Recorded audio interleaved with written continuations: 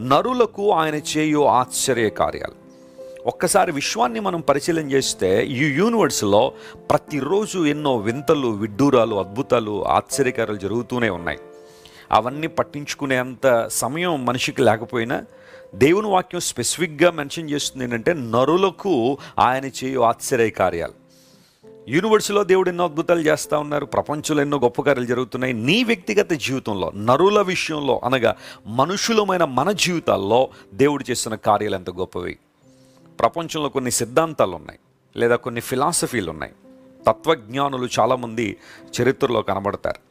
కొన్ని రకాలైన తత్వజ్ఞానులు కొంచెం ప్రపంచాన్ని ప్రభావితం చేసినట్టుగా కనబడతారు.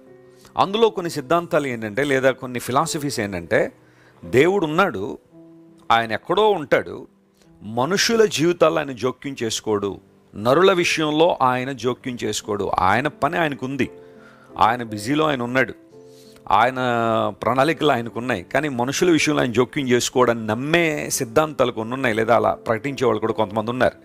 కానీ బైబిల్ అలా చెప్పట్లేదు. దేవుడు ఉన్నాడు ఆయన సర్వాన్ని సృష్టించిన దేవుడు తన మహత్తైన మాట ద్వారా సమస్తమును నిర్వహిస్తున్న దేవుడు అంత మాత్రమే కాకుండా అల్పులమైన మన జీవితాల్లో కూడా దేవుని ఉద్దేశాలు నెరవేర్చాలని దేవుడు ఆశపడుతున్నాడు. నరుల విషయంలో దేవుడు ప్రత్యేకమైన శ్రద్ధ కలిగి ఉన్నాడు. కారణం అంటే God created man as the crown of this universe ఈ ప్రపంచంలో ఈ విశ్వంలో కిరీటంగా దేవుడు మనిషిని చేశాడు. తన రూపంలో తన పోలికలో దేవుడు మనిషిని కలుగు చేశాడు.